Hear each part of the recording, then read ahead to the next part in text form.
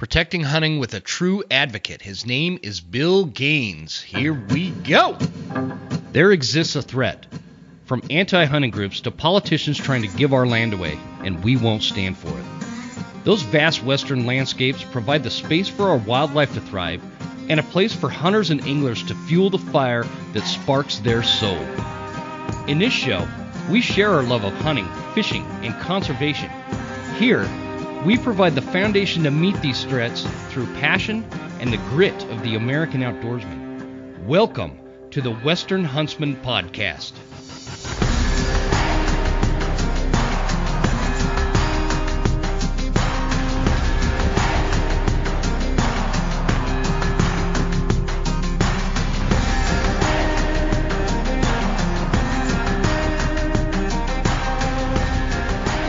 Gentlemen, welcome to episode number 58. This is Jim Huntsman, your host, coming at you from the Broken Time Studio in Hayden, Idaho. Hope you guys are doing great. Uh, glad you guys have tuned in. Uh, we have uh, an episode today that I'm going to talk to a, uh, a hunting lobbyist, uh, an advocate, and uh, his name is Bill Gaines. And he was referred to me by the director of Idaho Fish and Game, Director Ed Schriever uh, suggested that I, I, I, could talk to him about uh, this particular topic that we're that we're uh, we've been kind of involved in over the last couple of weeks, you know. And I know a lot of us are celebrating and kind of taking a victory dance over this. Um, situation out of California where the bear ban was taking place, but this guy actually knows a lot about this topic and the situation and what they're fighting against uh, over there. And every hunter in the West specifically is going to get a lot out of this episode. And folks, I'd caution you not to tire on this topic. Don't don't allow yourself to get worn out talking about this topic because it affects us all in North America and and this this kind of infringement on hunting and hunting rights and and, and our, our our ability to do and conduct ourselves in this in this lifestyle is is at stake and and I know it might seem you know I don't know frivolous or too far away to worry about or, or whatever, but th- that's not the case. We, we really have to be cognizant here. We have to be awake. We have to be aware. Um, I hate to use the term awake. I don't mean we're woke to it or anything like that, but uh, you guys know what I mean. So anyway, we're going to get to that in uh, in just a bit. I wanted to kind of throw a shout out to my buddy uh, down in Southern Idaho who just had a baby, Roger Hall. Uh, congratulations on the on the newborn, and he had a little boy. And dude, congratulations, that's awesome. I know, uh, and, and, anybody else has had. I know, I, I, know another buddy of mine, Justin. He had a baby down in uh, southeast Idaho. Uh, and and many of you listening I, that that I, I don't know personally, uh, maybe you've had uh, a baby recently, and uh, just uh, you know, congratulations, guys. That's uh, really cool. I got some hot tips for you. This is for the husbands, okay? Because I I don't I don't have any hot tips for the for for you wives out there, but to Roger, you know. A couple of things, words of encouragement when because he had made a post saying that you know he was there was some fear he was indicating that uh, he was maybe a little nervous to take the baby home and away from the hospital with all the help of the nurses and doctors and, and all that kind of stuff. I know exactly how you feel, dude. And it is it's a big deal and and it's a big responsibility and there's a lot of weight on your shoulders now as as a dad and uh, and that goes for you moms as well there's uh, uh, probably more of a burden on your shoulders uh, and and I don't say that lightly but um, to, to to help you guys out Here's a couple things. Okay. First of all, Roger, you're going to have to get super used to changing diapers. And if you hate changing diapers like I did, here's what you do. Are you ready for this? Put the diaper on backwards three times and make sure your wife notices that. She will insist on being the diaper changer so that you don't screw it up in the future. Okay? There's tip number one.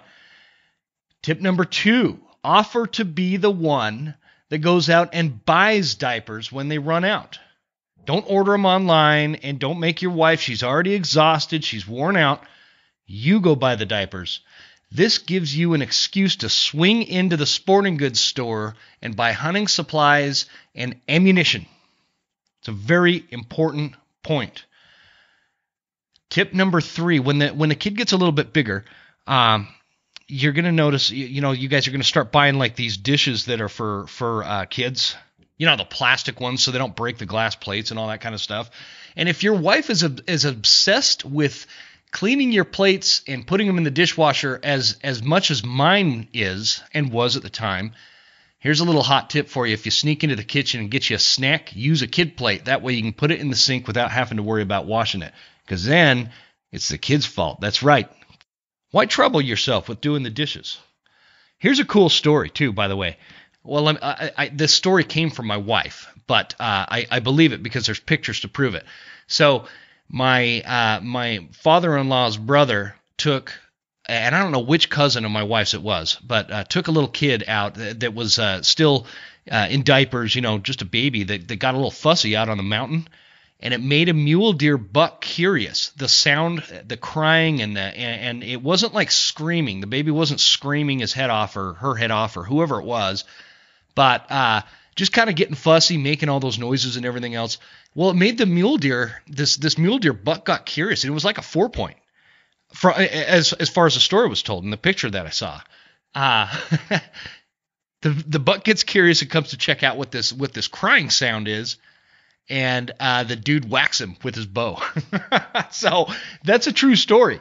Uh, pretty cool. I've heard it a million times. So I, I uh, and and uh, like I said, I've got pictures to prove it. Pretty neat. So keep that in mind because what deer season what for for you guys down there i don't know if you're going to be hunting maybe early season or, or whatnot but uh, the kiddo is going to be old enough for you roger uh, to get him out there and call in a buck for you but in all serious from the bottom of my heart congratulations to you guys i it's uh, really awesome seeing all that kind of stuff come together and, and, and an actual serious tip jokes aside uh, make sure you are taking care of your wife brother because uh, I, I could tell you from uh, four daughters, and uh, my, my youngest is, is turning 10 years old next year, which makes me, or not next year, next week.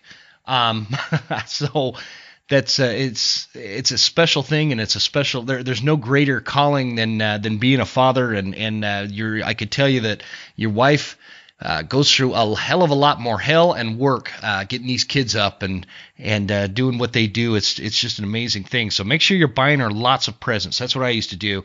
Uh, it took me took me a while to learn this, but I, I would buy my wife just random presents from small things to you know a little bit more expensive things, and that uh, that kind of helps show her that you appreciate all the hard work because let's face it she's probably going to get up more often at night she's probably going to change more diapers and she's probably going to do a lot more work uh, and that's just uh, sometimes the nature of it. But uh, do what you can and take care of her. And and uh, congratulations on the baby and good luck. So, guys, with that, I want to throw out a trivia question for this week.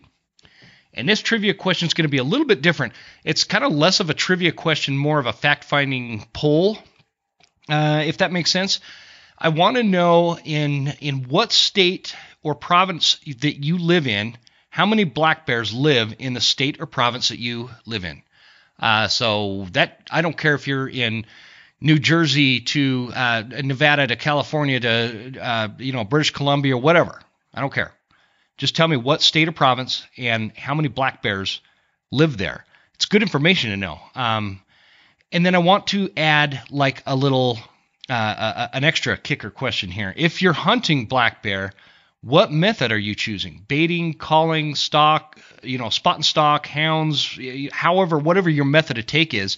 If you wouldn't mind just answering that question, how many bears live in your state or province? And if you are hunting them, uh, what is your chosen method for, for this coming year?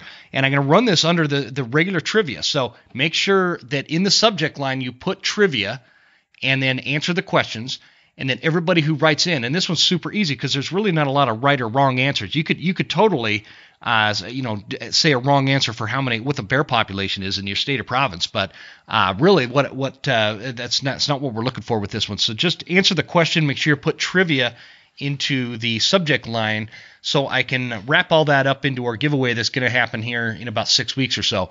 I'm putting putting that package together now.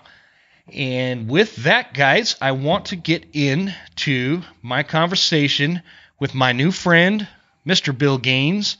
And he is he has a company called Gaines and Associates, and there is going to be a website. Um, and in fact, you know what? I'm going to message him before I put this out to see if he's got that website live yet. Uh, but I'll find out for you. But you want to check that out. If if it's available, I'll put it in the show notes. It might not be. Um, and and on that note, guys, make sure if you are enjoying the show, you are subscribed to the show. Uh, we the one thing that we are working on right now is trying to build the Instagram thing, the following or whatever. Uh, I, I and I've told you this on the show a few times before. I, I don't know much about Instagram and it's new. Uh, I'm learning. I'm getting a little bit better, and uh, but uh, a lot of people, you know, when I try to get like some big name guest on or something, they're gonna look at my Instagram followers, and it it's only sitting at about a thousand right now. So I need to build that uh, to to and that helps convince some of these bigger names to come on and and the the reason why that's cool is because it would be cool to hear from some of these guys like uh, I've been trying to get Jocko Willink on because he's a big time elk hunter. If you don't know who Jocko Willink is, you need to check that dude out. Um, super cool guy, super motivating guy, and I want to talk to him about elk hunting because he's been on a he's been on a ton of podcasts, but uh, n- never really talking about hunting. And so that's just an example. So the point is is if you wouldn't mind if you're if you're on Instagram and you're not following the Western Huntsman, jump on there at the Western Huntsman and check it out and uh, use hashtag Team Western Huntsman. Thank you guys for who uh, who's been using that hashtag. I uh, I didn't I actually just figured out how to follow that and and I, I just figured out who's like using it and you know everybody's out there uh, tracking with that that hashtag team western huntsman hashtag team western huntsman so definitely use that too and that'll kind of help tie everything back to the the page okay i'm asking you guys to do enough stuff i appreciate all that thank you guys so much for all the support you've given us at the show uh, we really, really appreciate it. It's just been an amazing uh, couple of months. If, if uh, I mean, honestly, the the last couple of months has, have been just something else. So uh, with that, guys, I'm going to get into it with Bill Gaines. Enjoy it. Let me know. Email jim at thewesternhuntsman.com. Talk to you soon. Here we go.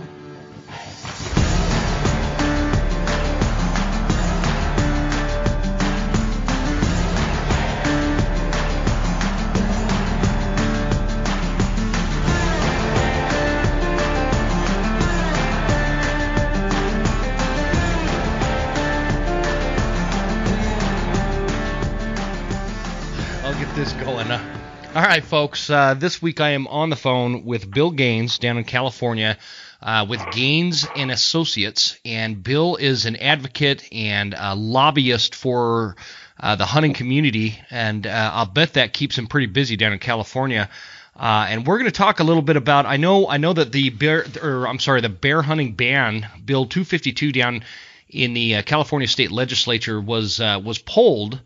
But uh, I think that we need to keep our foot on the pedal and, and stay ahead of this thing because it was only pulled for you know uh, temporarily, and so we're gonna we're gonna talk with Bill about that and uh, amongst other things. And uh, Bill, I appreciate you coming on the show. How, how you doing, man? I'm doing great, Jim, and, and thank you for the opportunity to come on the show. So I, I, it'd be a, probably a good idea to have you explain to the audience a little bit about what you do. Give us a snapshot of what you do, uh, your company, uh, and we'll kind of take it from there. Oh, I'd be more than happy to. Well, Jim, I, I'm what is loosely called a contract lobbyist, uh, which means I'm not on staff for any, you know, entity or any organization, anything like that. I'm rather a lobbyist for hire, if you will. And mm-hmm. there's hundreds of them here in California, as there is in, in many other states, and certainly back in Washington D.C. But but the difference between what I am and what 99.9% of the rest of the contract lobbyists is is that I focus only on wildlife and outdoor tradition slash hunting related issues. Mm-hmm. That's it. Uh, most contract lobbyists will represent you regardless of what your issue is, regardless of whether they believe in it or not, regardless of whether they know anything about it. They'll just take your money and then they'll be happy to represent you down at the Capitol. That's the way 99% of the people in my profession do, but I'm not like that at all. I, I didn't go into lobbying because gee, you know, I majored in poli sci and I, you know, I wanted to work in the political arena. No, that's not it at all. I didn't major in poli sci at all. In fact, if you had uh, reached out, you know, to me in college and wanted to start talking politics over a beer, I'd I'd find my way to the exit and go find somebody to talk about hunting. Right? Yeah. I had no yeah. interest in talking about politics. I certainly wasn't naive to it. It just was not my favorite subject. In fact, it was probably my least favorite subject. But uh, interestingly enough, uh, it was kind of God's plan. I mean, I ended up finding my way into politics uh, because I cared so deeply about hunting, and, and there was an opportunity. It's been almost 30 years ago now for me to to go to work for an organization which uh, you know I was already a member of and, and was already active as an, as a volunteer, and that was California Waterfowl Association because I love the duck hunt along with deer hunt and elk hunt and every other type of hunting out there. Mm-hmm.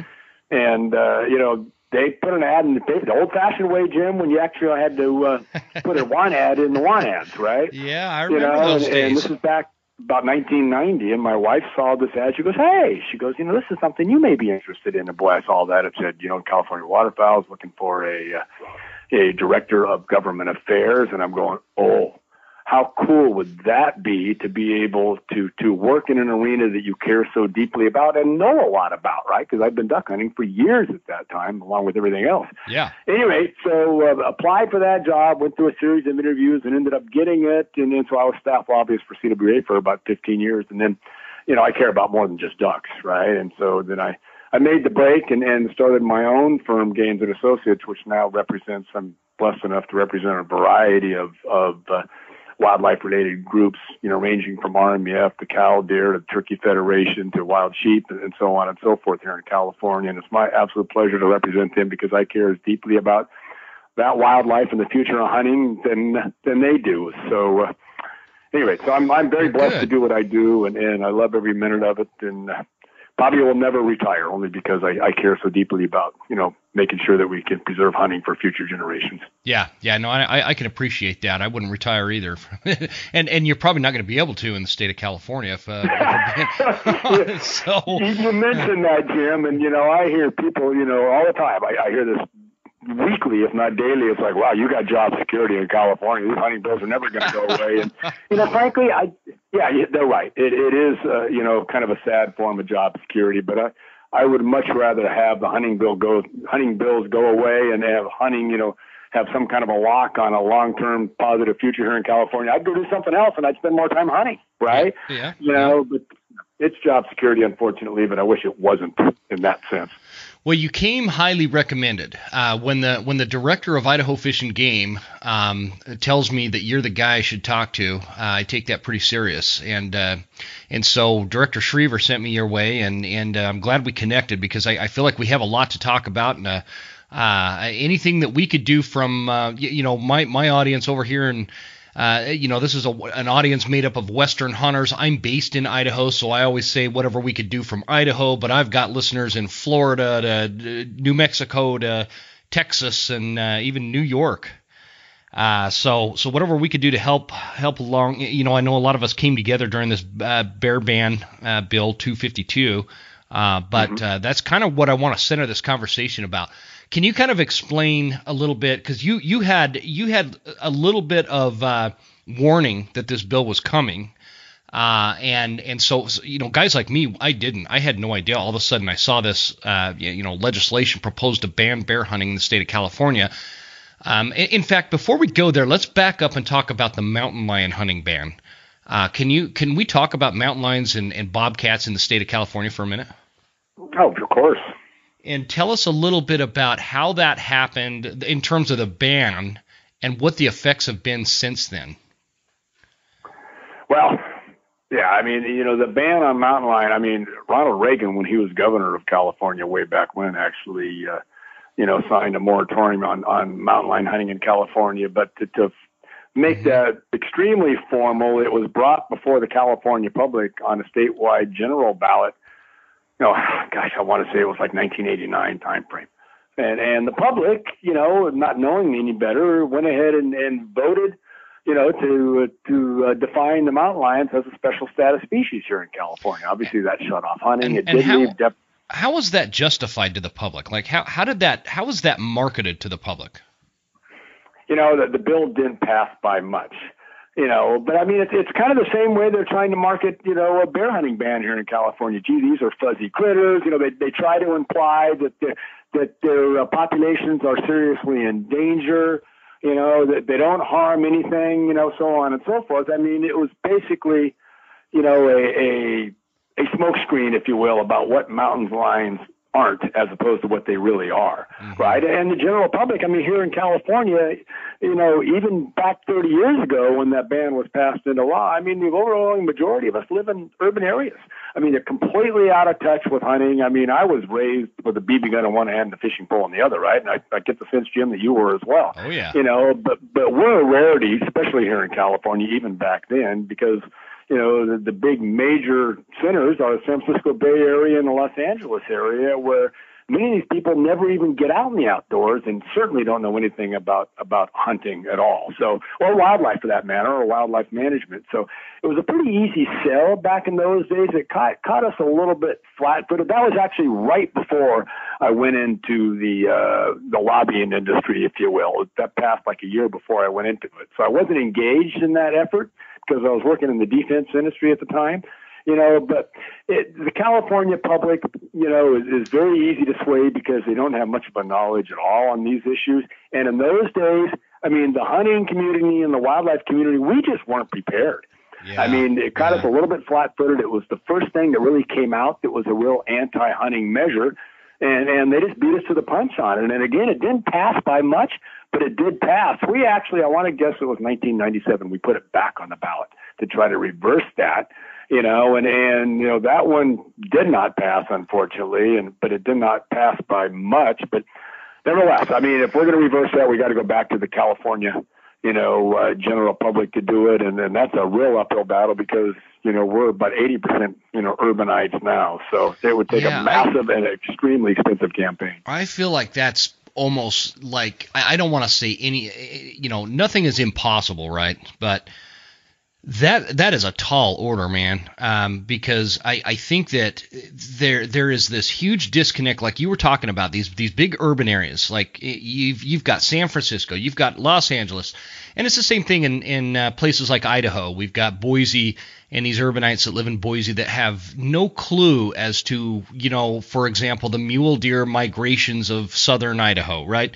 And so they want to put trails in everywhere and block the, the migration patterns. And the same thing happens in uh, places like Montana with some of the bigger cities, which don't even compare uh, in size to, to the California urban areas. But there is this big disconnect that you were kind of alluding to and and they sell these um, this anti-hunting legislation and and and the thought and the cultural idea behind an anti-hunting thought process you know purely based on emotions um, and so the science is is lacking and and I guess that that leads to a question as to uh, I, I, talking about maybe some of the consequences that came out of the mountain lion ban because there's a lot of information online that I can I can go in and read. Uh, some of it's confusing and conflicting. What is your take on that? What is your take on on what the consequences of banning mountain lion and bobcat hunting? Uh, what, what's that done to the state? Well, I'll tell you, you know, one thing it's done is it's had a devastating impact on our deer populations, for sure. Mm-hmm. Um, you know, and and so obviously we can't hunt them, so we've lost hunting as a management tool. As I mentioned a minute or two ago, I mean the uh, the language that was placed on the ballot left depredation in place, you know, but we've got some administrative efforts these days by uh, folks within the department and so forth that they, you know, have really put the crunch on what it takes to get a depredation permit, you know, for mountain lions as well. So, I mean, to do that, I mean, you've got to have a really serious and rare, you know, situation.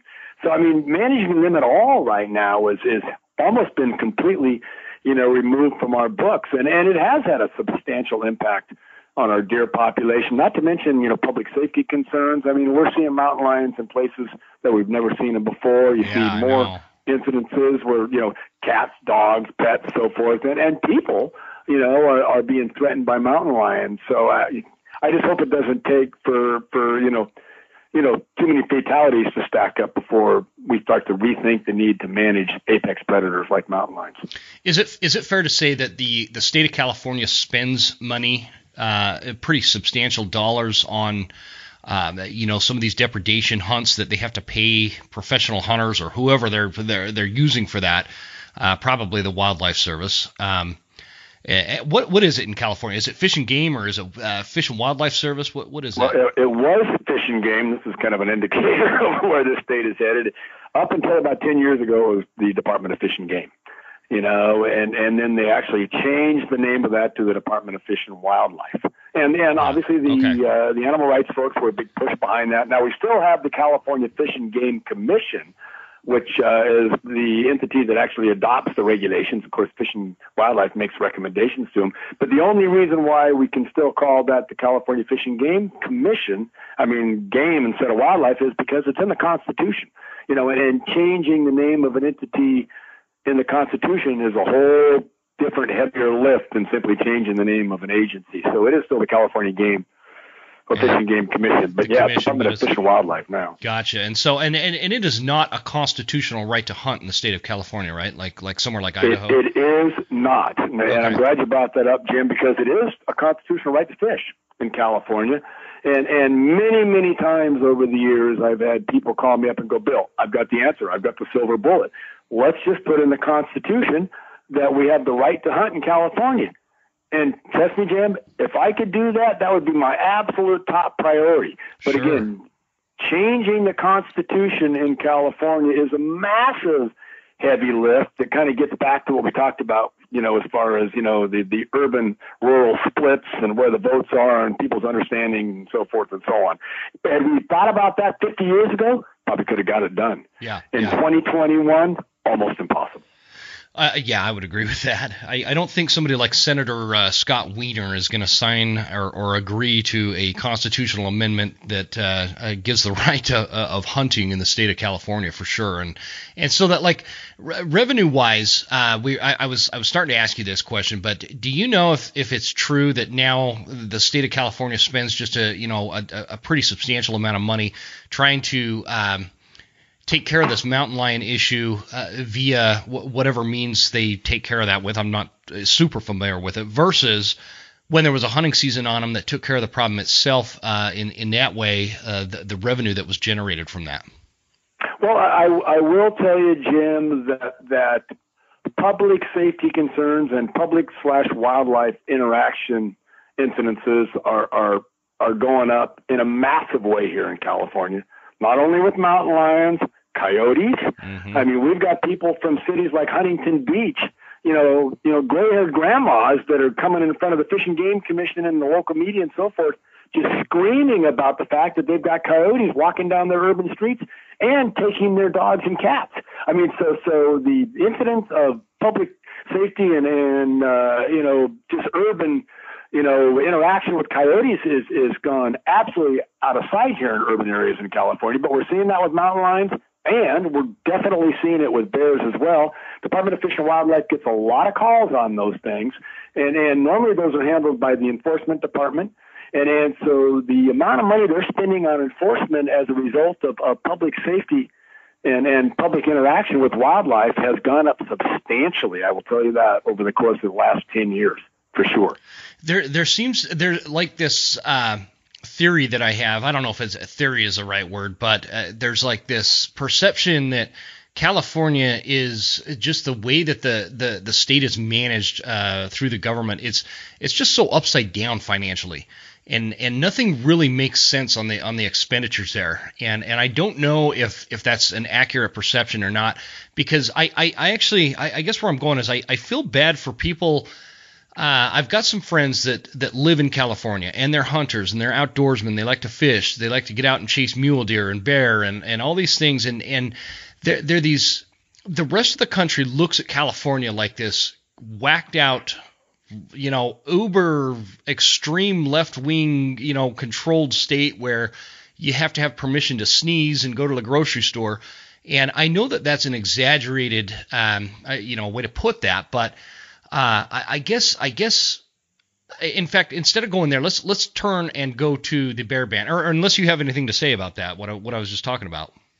Well, I I'll, I'll, make it you know pretty simple. I mean, when it comes to the battle to protect hunting and maintain those traditions, and, and wildlife conservation with you know hunting as the and hunting dollars as as a you know a, a key and critical driver. I mean, battles to save all that. I mean, we're on the tip of the spear here in California. Make no mistake about that. And and you know, and the saying goes, you know, as goes in California, so goes the rest of the nation. There's a lot of truth to that as well. Mm-hmm. I mean, if we lose bear hunting in California, I promise you, it's coming to your neighborhood next.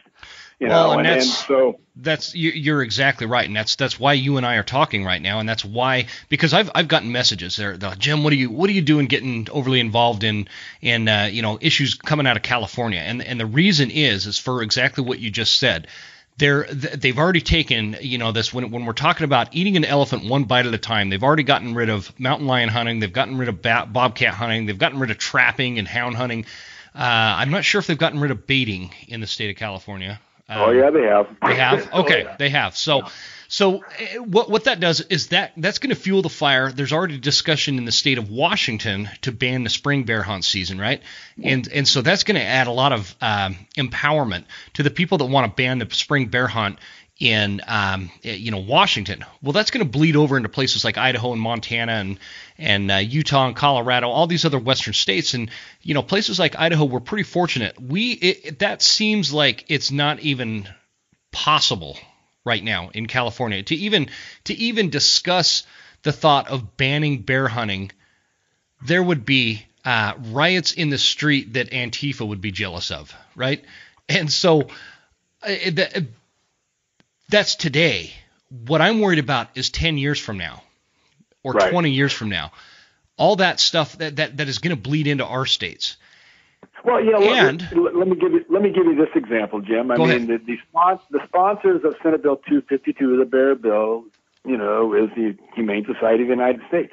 That's not a California organization. That's a national organization that, uh, and an extremely powerful one that I hope every hunter listening to this show is well aware of because they have nothing to do with spaying and neutering, and they have everything to do with trying to outlaw hunting across the board. if they listen to this show, they're aware of the Humane Society of the United States. Yeah, Absolutely. for sure. Well, why do you think the Humane Society picks California to tee up this bill? I think they because have. They yeah. know the playing field here in California is the most favorable to what they're trying to do. You know, the, the liberal, you know, urban legislators have Demo- primarily Democrats, you know, have super majorities in the House and in the Assembly. I mean, in the Assembly and in the Senate, right? Mm-hmm. So, I mean, they know that the playing field is just ripe to pass legislation like that here in California, like nowhere else in the nation. So let's bring it to California. Let's pass it there, and then let's march it northern and eastward until we've got bear hunting ban throughout the whole United States. I've read that uh, article on uh, this the bear ban in California from the Humane Society. Um, I've read that probably two or three times, and every time my blood just boils. The way that they market this pack, or, or, or they package the whole idea of hunting uh, and bear hunting, and, and and how it's labeled as oh, you know, the trophy hunters are annihilating the bear populations of California, and they're only trophy trophy hunters, so they're not hunting the smaller bears that are near Tahoe. No, they're going into the backcountry to get the big Bruins, you know, and, and, and the way that they packaged this and marketed this it, it's it, I could see that totally playing into the emotions of somebody who lives in downtown San Francisco that's never seen a bear outside of a zoo. Uh, they they don't know what bears eat. They don't know what bears do. They don't know how they they pattern and migrate and uh, breed and, and all these things that that go into a bear's lifestyle. But I could see somebody sitting there reading this article uh, in a park in San Francisco and and getting this image of a savage, bloodthirsty hunter out there looking for a big trophy bear to take the bear uh, hide home and simply make a rug out of, as if it's not taken for the meat, it's not harvested um, for other things outside of just the trophy aspect of it. It makes it makes me sick. If if we're being honest, that that article makes me sick, and it's stuff like that that we have to counter.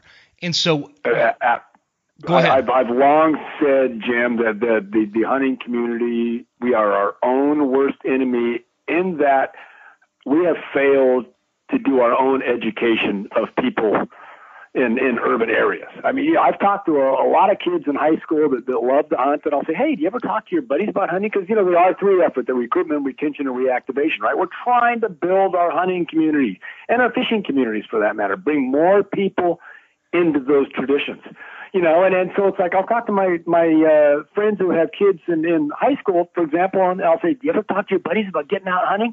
Go, "Oh no, no, no, I, I'm afraid to bring that up." It's like, well, why are you afraid to bring that up? I mean, mm-hmm. you know, hunters have a proud tradition. I mean, I could go on and on and on about, you know, the wildlife conservation model and how hunters are the ones that not only built it, but that drive it and, you know, the benefits to game and non-game species. You guys, you know that, Jim. You know that. But, mm-hmm. but the general public in the urban areas don't know that. They don't know the benefits of hunting. They don't know the revenue streams. They, they don't know the the good work that groups like RMEF and others are doing on the ground, you know, to, to benefit the habitat of these species and the other species that use those habitats. I mean, we've got to do a better job of educating urban people as to uh, you know the role, the very very positive role of of hunting when it comes to wildlife conservation for all species, not just game species. And we've got to work harder to get them out in the field, get them out there, educate them. You know, like get them to get their their hunter safety certificate and get a hunting license. I mean, I think every we have we have 40 million people in California. We sell about 250,000 hunting licenses. Crunch those numbers, right? We're about a half of one percent of our public hunt. Yeah. I mean, yeah. that's pretty scary. And, and that's one of the arguments that we hear the animal rights folks bring up all the time when we're debating, you know, policy, whether it be in front of the Fish and Game Commission or in front of the state legislature. It's like, well, you know, 99.5% of California doesn't hunt. Well, that doesn't mean that 95, 99.5% of Californians, you know, have to be anti-hunting. They're not, yeah. right? A lot of them would strongly support the good things that we do on the ground, but we've got to reach out and educate them. You know, winter is a great time to get stocked up, geared up, and dialed in for this coming hunting season coming up in 2021. So I want to save you guys some money. And first off, let's start with Hoffman boots. Hoffman boots are the boot of choice at the Western Huntsman, and it used to be Hoffman boots used to be like this little North Idaho secret with their hunting boots. But these boots are great boots. They won't cost you as much as some of the other top name brands out there, but they are every bit as good. And to save it even a little bit more money, I want you to type in the promo code Huntsman10 to save you 10% off at checkout. Now, I got to give you a fair warning, real quick, up front with Hoffman boots. They're they're like six weeks out right now on orders uh, because everybody is jumping on the Hoffman boot train, and you should too. Next, I got SKRE Gear, extreme mountain gear. This high performance hunting attire and gear is specifically tested for camel patterns throughout the North American continent, and it's backed by a great company. Guys, SKRE has a great history. I tested this gear all last season, and I put that gear through the ringer, up and down, left and right, to and fro. Save you a little bit of money. Use promo code The Western Huntsman at checkout to save you 15% off and free shipping. That's a hell of a deal. Check out SKRE Gear skregear.com. It'll be in the show notes. Last and certainly not least, Phelps Game Calls, the choice, the selected call company of the Western Huntsman officially for 2021. Guys, there's some uh, big things happening with Phelps Game Calls, and I can't say enough good things about this company. What a story! Started in a just like this workshop, and now it's one of the premier hunting call companies out there on the market. And if you haven't tried Phelps Game Calls, you're really missing out. You you really are missing out on those diaphragm elk reeds. Uh, they are amazing, and they will. The amp frame is an absolute game changer. Check it out at Phelps.com and use promo code Huntsman10 at checkout to save you 10%. Let's get back into the conversation, guys. Thank you to our sponsors, and thank you for supporting our sponsors. Here we go. Yeah, I, I agree, and and I, I want to talk about how we do that because I, I want to, you know how you can you can see those uh, if you're watching TV and you see these ads of like Sarah McLachlan singing in the background and and these you know Humane Society ads that they put out there. How do how do we counter that to the masses in the in a way that the anti-hunting associations uh, and organizations, how you know they're good at that. How do we counter that and get this you know, messaging and, out and, to and, the masses? No, no, I, I, I hear you on that, and, and I mean it, it's certainly far more than every hunter going out and reaching out to somebody who lives in an urban area and and, and trying to educate them. I mean, we've actually talked about this. We, we've talked about banning all the various organizations in the state that care about wildlife and care about hunting together to build a war chest, if you will, and and put things, you know, on the radio and TV and so forth in a lot of these urban areas. I think that's what it's going to take you know, is, is a massive media outreach campaign similar mm-hmm. to what the animal rights folks do. I mean, it's a multi, multi million dollar effort, you know, to do that. But I think it, that's something, if we're ever going to achieve the, the level of education of the, the inner city folks that we need to, to, to really protect hunting over the long term, we've got to pull something like that together. I, I agree. And, and I've, I've been thinking about that. How, how does a hunting community come up with 30, 40 million dollars? And and come out with both online, television, radio, the, just a campaign that is not necessarily promoting you know the public to go hunting, but it, more of an educational thing. Like you know, did you know that uh, you know the uh, turkey numbers in the United States were were uh, almost at extinction levels, and and now there's right. millions and millions and millions millions of them. That's due to hunters. That is not due to the Humane Society. That is not due to the you know the senator or center for biological diversity or whatever that, that other that's what it is yeah. biological diversity yeah. yeah another one of our folks yeah yeah they're uh, uh, anyways well you know I, I i've long said you know, it's it's kind of funny, but it's not. I said, look, we got 40 million people in California. I noted that, you know, you know, a few minutes ago. But I said, the last thing we need is 40 million hunters in California. It's hard enough to get on a refuge to chase ducks these days. Oh, for it's sure. hard enough to get out to, to chase deer, you know, on on opening weekend and not having somebody on every point, you know, looking at you, right? You know, but we do need to build our hunter numbers, you know, substantially higher than they are right now. We and and I wouldn't disagree with that. Um, I know there's a lot of people listening that are like, now don't let's not get started on getting more hunters in the woods, and and I I understand that. Uh, and and I think that for who we need to who we need to target and talk about it's not hunters we need to convince it's it's not the extreme anti-hunting community that we need to convince it's the average person out there that um, you know they go to the grocery store they get their groceries from from the store they're happy they're content with that they really don't have an opinion one way or the other. Uh, and and when when you compare two different things let's use facebook for example. When you compare two different things you have the the pro hunting people and usually they're hunters and and they might sometimes they don't necessarily always portray the hunting lifestyle in the most positive light right they put a, right. a, a, really bad negative imagery type kind of picture on on their wall, and um, you know it, it kind of turns people off. Again, they're not necessarily anti-hunters. They're not they're not pro-hunters. But then the you know they keep scrolling through their feed and then they see you know this article about how they need to ban bear hunting in California from these evil trophy hunters that are killing all the bears uh, and and bears are you know darn near extinct over it. it. Uh, the way they they the way they portrayed that in that article, uh, which is totally untrue. I mean, we, we could we could sit and talk all, all day until we're blue in the face about how you know the, the bear numbers have have almost tripled in the last two and a half decades. Uh, and, and, that's not what connects with people. That, that you know, people hear that and it's kind of like in one ear and out the other. I the the messaging needs to change somehow, and we need to come together as hunters and, and quit fighting about who's an archery hunter versus a rifle hunter and uh, who's a fly fisherman versus a spin fisherman. You, you know all these things that, that kind of fuel this fire and and, and con- controversial discussions that happen on Facebook. You know these people that don't hunt, they see that, they see that, and they see these well put together, well market marketed, well articulated pieces of media that come out that are against hunting and the way that they they word it in in this I mean it's propaganda. I mean why, why beat around the bush? It's propaganda.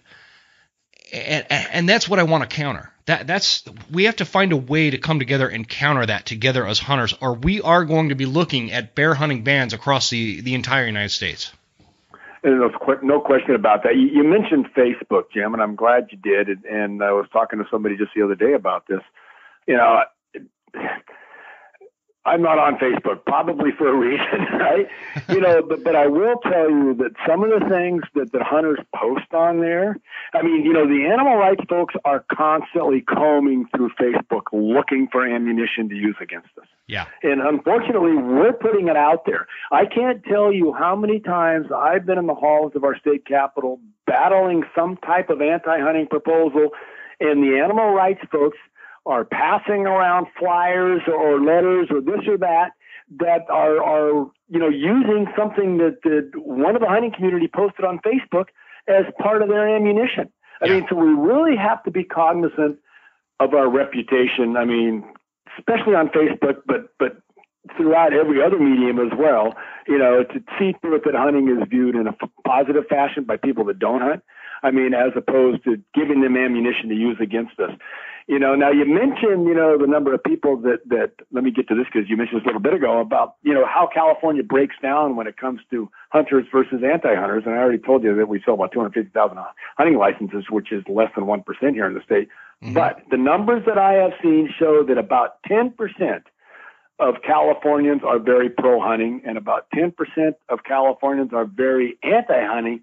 And the 80% that is in the middle really has no opinion you know, and, and that's our target when you talk to, about educating and reaching out and trying to get more people to embrace hunting. It's that 80%. And it can be done, but it's going to take all of us to do it. Mm-hmm. You're, you're exactly right. That 80% is, is, I think that's going to be, you know, fairly consistent with, uh, you know, some give or take there throughout the, throughout the country. You, you know, that, uh, I, I think I want to say nationally the, the, hunting community of committed hunters that go out at least once every five years is somewhere around 10%. Uh, I could be wrong on that, but uh, that's I don't know. I read that somewhere. But let's talk about the bear ban bill. Um, okay. So we have we have uh, and I tried to get him on the show. Uh, they, they, he has not answered. Uh, if if somebody in his staff is listening by chance and uh, y- and, and he wants to come on and defend his position, the the door is open, the invite is open. Senator Scott Wiener uh, sponsored this bill 252 that is an outright ban on bear hunting, and uh, a lot of it is you know, based in in the article from the Humane Society that talks about how global warming is reducing the amount of bear habitat, and uh, is there any truth to that, by the way? Well, I will tell you that, and, and uh, if you want to blame it on global warming, you know, but but yeah, we have suffered some some absolute devastating fires here in California. Lost hundreds of thousands, well, you know, nearly millions of thousands, millions of acres, you know, to fires. You know, but that's not just bear habitat. That's elk habitat. That's deer habitat. That's habitat for a whole variety of species out there. And, you know, the revenues that are coming from the bear tag sold here in California, which was 1.4 million last year, goes into an account that we set up dedicated account within the Department of Fish and Wildlife that the Department of Fish and Wildlife partners with groups like California Deer, Mule Deer Foundation, Rocky Mountain, and others to put that habitat back on the ground. Mm-hmm. So, I mean, yeah, we've lost some habitat here in California, but it's not just bear habitat. It's habitat for a variety of species. And bear hunting is helping, and the revenues from bear hunting are helping to replace that habitat and get it back on the ground for the benefit of bears and the other species that depend upon it. But that habitat loss is is just temporary. I mean, I mean that when uh, I, I, guess I'll put it in the in the in the Idaho um, context. When we have a big forest fire here, I'm hunting that forest fire area the next year because that's where the game's at. And and, yeah. and and so so I mean I, I know that that's not they the way they word it is it's like okay we've got uh, you know everybody's driving a, an SUV now and it's it's warmed up the planet so much that we're having all these fires has nothing to do with uh, the the lack of logging and forest uh, management and anything like that. Uh, we we get these big devastating fires and bam permanently this bear habitat is lost. Right right. It's an interesting way to put it you're absolutely right, and I'll give you some examples. Some of the, I mean, you know, these climax forests that are out there have, as you know, Jim, zero habitat value. Mm-hmm. I mean, they've got such a massive canopy on them. There's, there's, there's no, there's no food even on the ground for wildlife, right?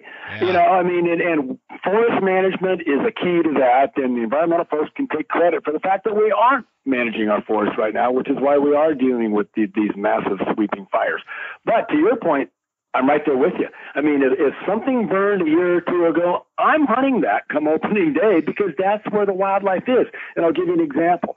You know, the elk herds up in Northern California now, which are growing, you know, are actually moving into areas that they've never been into before because now we've got on the ground for them that was never there when you had these climax forests out there. Mm-hmm. You know, it is there now, which is why we're seeing elk in areas where we never have seen them before, because we're starting to get some habitat that they can actually use as a result of fires.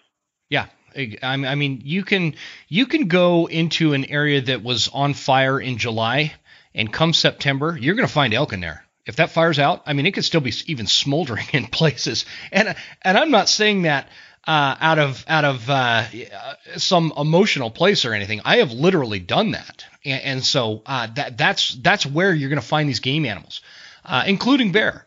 And and so it's it's just a silly argument. But getting back to the the actual bill and the way it was introduced.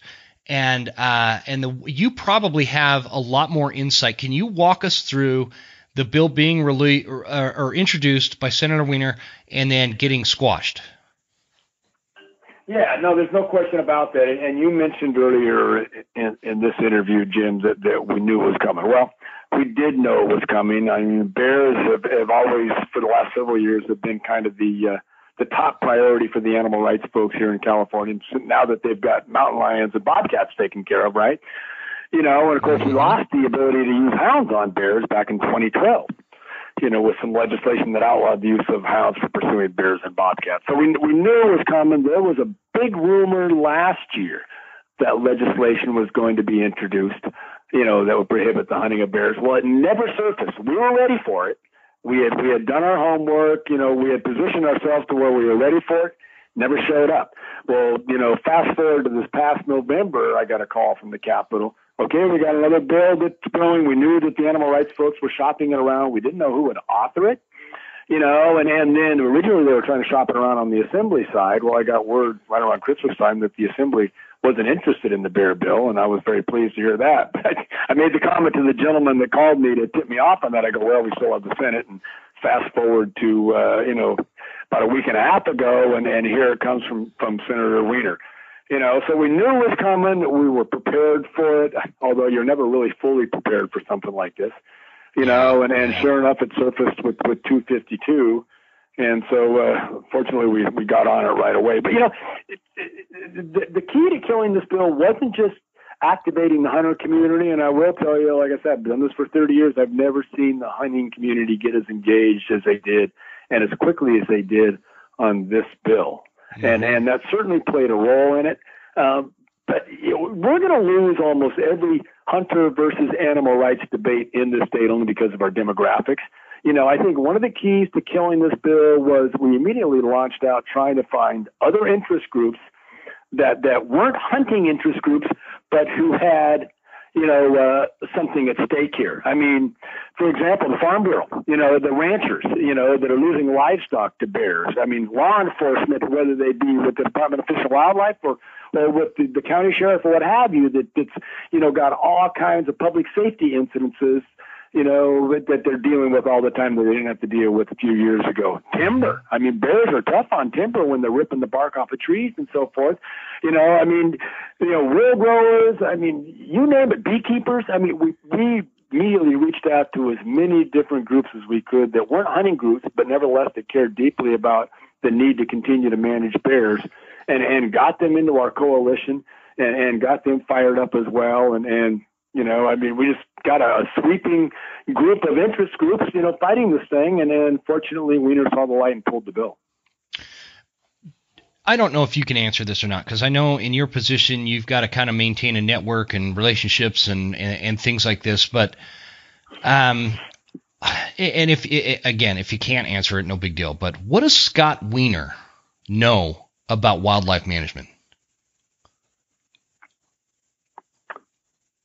I, I would say very little. I mean, you know, he represents the San Francisco area. I mean, he doesn't deal with a lot of wildlife related issues. His constituency constituency certainly doesn't have, you know, uh, issues dealing too much anyway with the uh, the public safety and so forth. I mean, because there's no bears anywhere near his district. Maybe a coyote or two now and then, but that's really about it. You know, so so very very little. Um, I, I just think he got caught up in, in you know got fed some of the Humane Society stuff, and then you know, yeah, thought that it was time to, to introduce some legislation like this. So you've been dealing with this. something of concern to, to his district. What, what? Oh yeah, exactly. And that was my point. I, I put out a bonus episode uh, discussing this bill before it had been uh, pulled, uh, and, and, talking about this. You know, we're in the middle. We're in the middle of this this uh, global pandemic, right? We, we've got I, I, made the point that the, the state of California has a homeless population that is four and a half times greater than the bear population. Uh, there, there's debt. There's uh, all, all these, you know, the, the crime and all these things that are happening, not just in California, but everywhere, right? And I, I guess I just question like the timing. D- do you feel like maybe with all these distractions going on between elections and pandemics and and all this uh, craziness that's been going on uh, that that 2020 is going to be forever famous for, was all these distractions maybe an opportunity for the anti-hunting uh, movement to to introduce some kind of legislation, as if it can kind of get passed under our noses? Yeah, I, I didn't see it that way. Um, you know, frankly, I was a little bit surprised that, that Wiener would introduce this bill when we were under COVID and various other, you know, things that are much more demanding and much more, uh, you know, critical to the California's public. Yeah, I, I don't. I think you know the Humane Society probably didn't really think about you know de-COVID this and that, and this is our opportunity. I think they look at the demographics of California and they say, let's just do it. Mm, right? Okay, okay. I mean, we actually used COVID as one of our arguments, and it, it, this is a real, true argument. I mean, that, that this is no time to be debating whether or not we should be hunting bears in California. No. I mean, you know, California's public, you know, deserves better right now. Let's this legislature focus on dealing with COVID, dealing on home with homelessness and these other issues that, that people the really small care businesses that have gone under because of COVID. I mean, we can address that. Uh, right. We, uh, the unemployment rates, the you know all the stuff that's going on that that I, I feel like it's just not that bear hunting or banning bear hunting isn't a, a, you know priority for us as hunters, but but to somebody like Senator Scott Wiener, I just I just don't I, I guess it's it's hard for me to imagine that some senator is sitting at his desk in in San Francisco, California, stewing about people out hunting bears. Yeah, you know what I mean? It just it's like this weird thing for me. Where where does yeah. like where does this?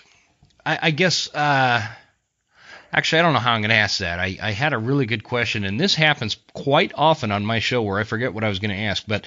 Um, it's there's there a lot of this is, is very cultural and like what you said it, you know it's it starts in California and where California goes so goes the nation you know kind of kind of talk where what do you see as with your you've got decades of experience uh, as an advocate for for hunting and wildlife and and uh, fishing where does this cultural shift come from?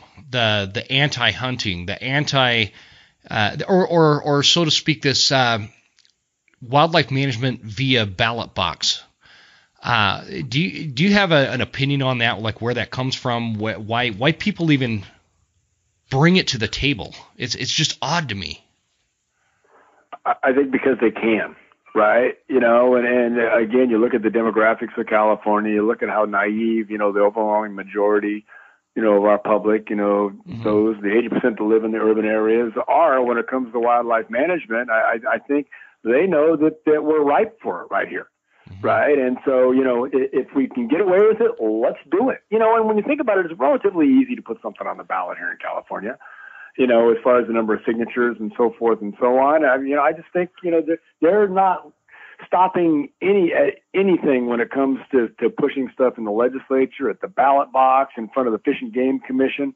I mean, every avenue they can, you know, to, to shut off hunting and take it away from us, they're going to do it, and they know that California is the place they'll be able to, or at least the best place to try anyway. I'm gonna I'm gonna ask you something super philosophical, and we'll we'll keep it uh, hunting specific. But do you feel like ever in your position or just you know as as a guy that likes to hunt and and uh, pays attention to things around him do you feel like as a society we we're this we're this um, first world country that has you know if we get hungry we can go down to the dollar menu at McDonald's and and and we have cable TV and cell phones and all this all these comforts this uh, this level of uh, comfort and safety within our society that uh, maybe sometimes that's what this this stuff almost comes out of boredom, so to speak.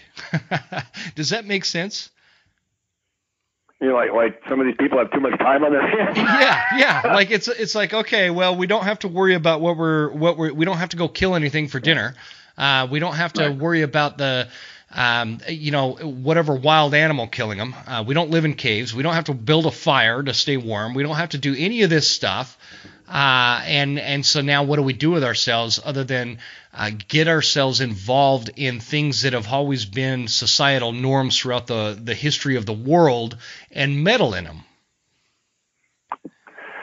You know, no, I I, I think you you know you you're you know hooking into something there. You, you know, a lot of these people you know, they, they, they grow up in urban areas, you know, all, all they know about wildlife is what they, you know, may read in the books or, or see on TV. You know, they're really not out there in the wild. I mean, you know, they know nothing about hunting. It's just killing. I, I just think that, uh, you know, it's just a lack of knowledge, you know, and, and then, you know, it just seems that, that, uh, you know, a lot of kids are raised this. I mean, who knows some of the things they're teaching in schools and so forth. I mean, they they don't talk about you know the history of hunting. They don't talk about wildlife management, right? No. So I, I just think it's just a matter of uh, people are getting further and further out of touch with wildlife and the need to manage them, and then they have too much time on their hands, and they all want to be heroes and save the world from people killing things.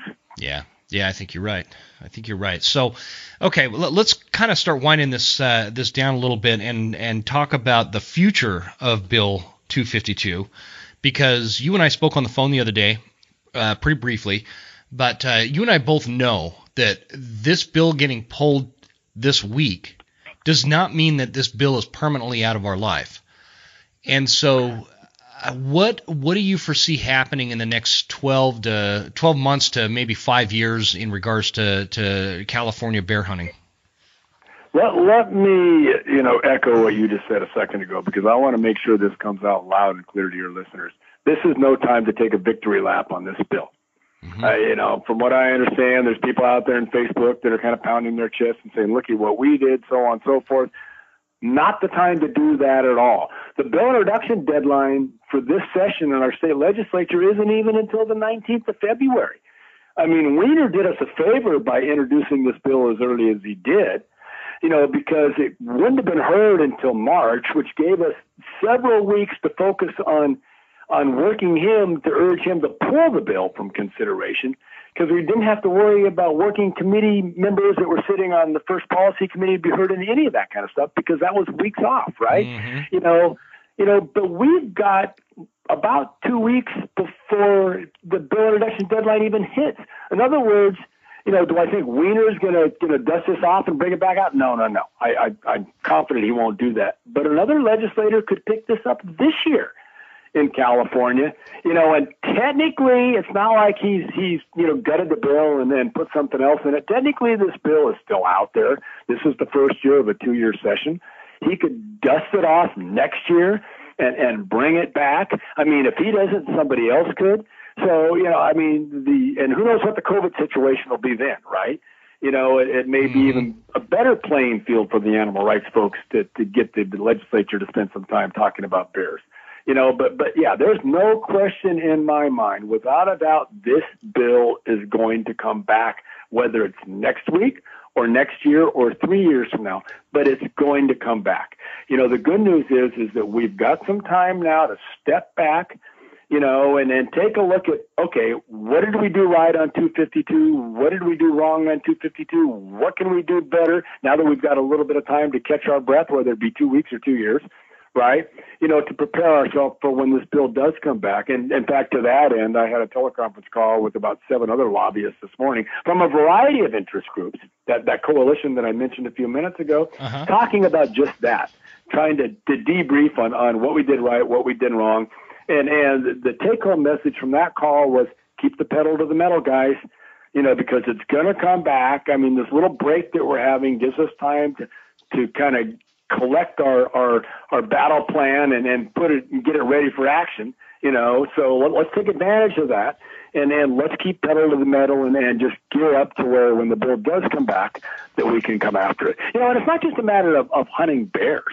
I mean, we've had Center for Biological Diversity go after the hunting of elk. I mean, there's a variety of things that we hunt out there. I mean, they don't want us yeah. to hunt anything, right? It's that, like, that, and that's what like, I was going to ask you is is is you had some a little bit of of, of uh, warning on this this uh, Bill 252. Is there anything else out there that we should all be aware of that that you know about?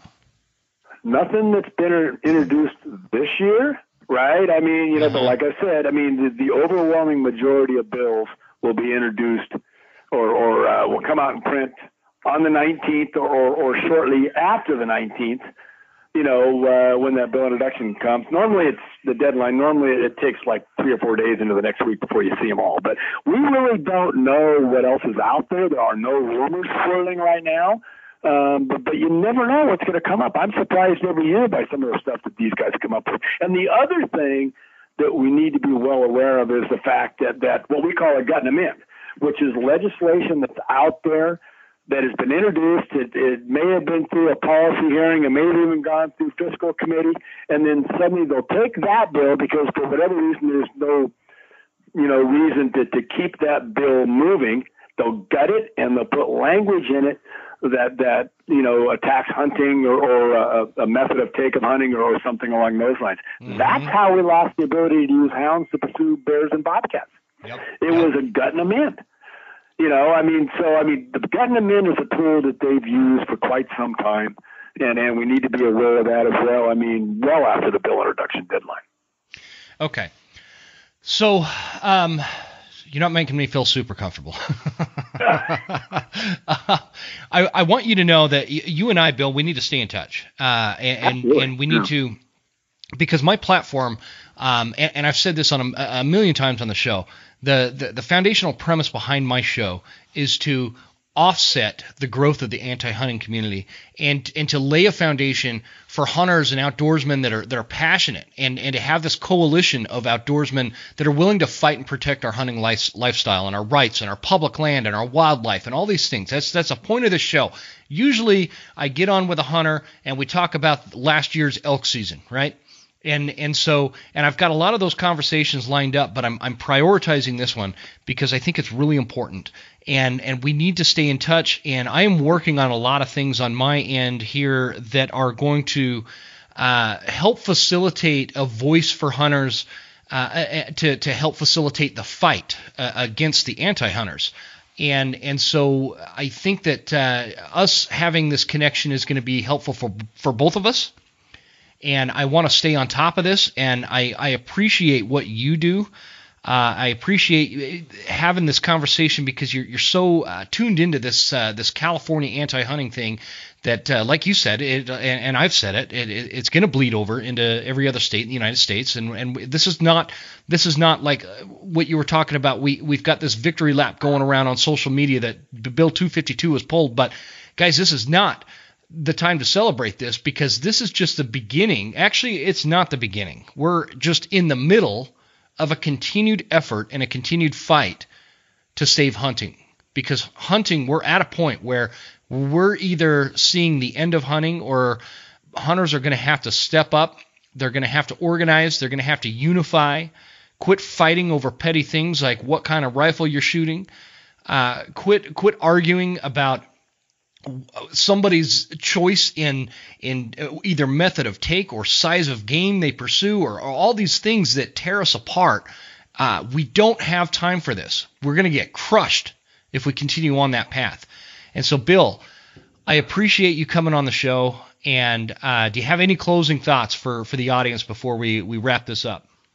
No i, I sure do. Uh, you know i again you you put your finger right on it. I mean, this is no time to, to thump your chest and say, looky what we did, you know, and, and take a victory lap. But what it is time to do is for the hunting community out there to wake up. I mean, it. I can't tell you how many hunters that I've talked to over the years and tried to get them engaged, write a letter to their assembly member or their senator and so forth. They don't want to do it. They just want to go out and hunt. And I, I get that. I'd rather just go out and hunt too, yeah. right? But yeah, the fact is, sure. if you haven't been politically active, you have to be politically active. I guarantee you the animal rights folks, every one of their members picks up the phone or, or picks up a pen and paper and writes a letter or calls their, their legislator. Oh, man, Promise for you sure. That. They're so we, much more enthusiastic. Be, you know, and, and if you're not a member of, of Rocky Mountain Elk or Cal Deer or, or Ducks Unlimited or whatever, join right? Because those groups not only are helping put habitat on, I could list a whole bunch of them, right? Turkey Federation, you know, you name it, right? Mm-hmm. But I mean, they're helping to put habitat on the ground that's helping to keep our populations, you know, of, of game, you know, healthy and non-game for that matter. But they're also a good medium for getting word out to their members, right, as to what's happening out there, you know, on the ground politically, right? You know, the other thing is people, like we talked about, Jim, reach out to somebody that's not a hunter take the time to, to try to gently educate them about the positive role that hunters play when it comes into wildlife conservation and protect and embrace our image. I mean, you know, the, the perception of the, the folks that don't hunt out there, that live in downtown Los Angeles, downtown San Francisco, whatever it may be. I mean, make sure that we're portraying an image to them that is positive you know, in terms of the positive things that we do, you know, and whether yeah. that be what you post on Facebook or, or whatever. I mean, you know, there's a variety of things that they can do, you know, to, to help, you know, pave the way for, you know, the next battle that we're going to face and make it a little bit easier to win. Well said, and I'd like to I'd like to kind of reinforce what you were talking about with groups like the Rocky Mountain Elk Foundation and other organizations out there. Um, irregardless, or actually, my wife tells me all the time, irregardless is not a word, Jim. Just say regardless. So she's right, by the way. she is right. I know. I looked it up. I tried to fact check her, and she got me. but okay, right, right. regardless of whether or not these organizations are uh, doing 100% of things that you agree with, or uh, you might disagree with one thing or, or that thing, or you know whatever small aspect of their entire full mission that you disagree with should not negate you from joining these organizations. And I'll, I'll add something to what they do. Organizations, especially the bigger ones like the Rocky Mountain Elk Foundation, they are a hunting advocacy group. I promise you that the uh, anti hunting organizations like the Humane Society have on staff attorneys that are active and they're, they're and not just attorneys. They have you know lobbyists and, and everything else that they have these folks that are that are advocating to take your right to hunting away. Places like the rocky mountain elk foundation and and other organizations they need the funding so because they provide the same thing for us. Right? Does that make sense? Uh, absolutely it does. We and, need and these they full-time need that people. funding. They need that funding now more than ever mm-hmm. Jim. I mean, you know, I'm not sure, you know, what what it's like in Idaho, but you know, out here in California, they can't have dinners, they can't have the, you know, the standard, you know, live auctions and raffles and so on and so forth. I mean, these groups are really struggling at a time when we need them more than ever. Well, I mean, so now is, is yeah, we're not having those banquets either. I, I was supposed to probably go to three or four different banquets since this last fall, and and then they they were all canceled. Uh, and so you're right. The, the funding is low uh, because of COVID-19. There, you know, the banquets were, were a huge money, you know, revenue generator for, for these organizations. And I know people get tired of hearing about fundraising this and donate here and donate there, and people do get tired of that. But if if you value hunting, now is the time to fork up some dough or fork up some time to volunteer or make phone calls or send emails or you know whatever we can do to help help our cause, uh, the, the, the opportunities out there. Right. You know, and the other thing is, and I would I would hope that a lot of your listeners are already all over this, but these virtual auctions. I mean, a lot of these groups now, there's like onlinehuntingauction.com and so forth. Mm-hmm. You know, these organizations are going out and they're doing they're doing uh, silent and live auctions online. Now, Bill, right? I mean, now, Bill, so, don't don't let that secret out of the bag because right now, when you get online, they'll they'll send those online auctions in an email. Not a lot of people enroll in those, so your odds of winning a rifle or something are really high. And and I like I like yeah. so uh, that's that's our little secret. Yeah, right, right. Not anymore. no, but I've been very active on those, and and uh, yeah. they're actually a lot of fun. You could do them from your, you know, your own, you know, office or, or kitchen or wherever. I mean, yeah. you know, so take yeah. advantage of those. You'll get some good buys, and you'll be supporting a, a very, very good cause at the same time. Exactly, exactly. So, well, Bill, I sure appreciate you coming on the show. I think this is going to go a long way uh, to help our cause, and and like I said, you and I need to stay in touch and uh, make sure that we are uh, you know, working in unison so we can we can help you guys because we, uh, you know, fr- from my standpoint over here in Idaho, I want I want my uh, my friends in California that hunt to know I, I've got your back. We've got your back and uh, you know that goes for for our trappers in New Mexico dealing with that legislation, and and the the spring right. bear hunt issue going on in Washington, and it, you know there's there's a lot of things going on this winter, and uh, well, we just uh, we want to have everybody's back and and do what we can. Uh, to to see things go our way, or otherwise we're going to get stomped. And so we're just we're just trying to prevent that. Right. We're all we're all in this together, and there's just not enough of us to uh, you know to be able to say, yeah, they don't need my help. No, no, no. We need everybody's help on. Yeah, yeah. I mean, I'd love to just talk hunting all, all the time. You know, uh, what kind of elk strategy do you have? What what how do you what kind of bugles do you recommend? What kind of you know mule deer hunting do you do? You know, I'd I'd love to just have those conversations all the time, but we we do have to have these conversations. It's it's just it's the days of you know, a hunter just buying a tag, a deer tag every year, and calling yourself a conservationist and a protector of hunting, those days are gone. Those days are simply gone. We all have to step up and do a little bit more. And we're working on a lot of ways to make that easier for hunters here at the Western Huntsman. It's just taking us some, uh, it's going to take me some time to get this all put together, but uh, we got some good stuff coming up. So stay tuned for that. And Bill, thanks again. Uh, hopefully we could jump on and, uh, and get you back on the show down, down the road here. Well, you, you know how to get a hold of me, Jim. And just one final comment. You know, way back at the beginning of this interview, I, I made the point, and I stand by it now, that that nobody hates politics more than I do. Mm-hmm. And I know there's a lot of hunters out there that hate politics every bit as much as I do.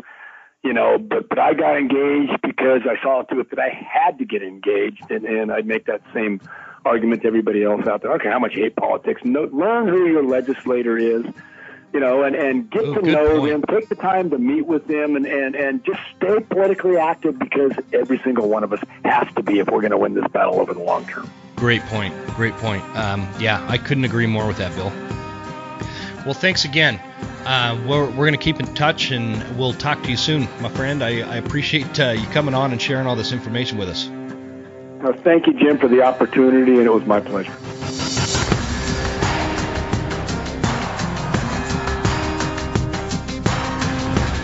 Made it all the way to the end. Thank you so much for tuning into the show. We sure appreciate your support. This is Jim Huntsman signing off and reminding you to check us out at Instagram at The Western Huntsman and on Facebook at The Western Huntsman. And you can also check out the website at thewesternhuntsman.com. Thanks again. We'll see you guys next time. Stay Western, and I'll see you on the mountain.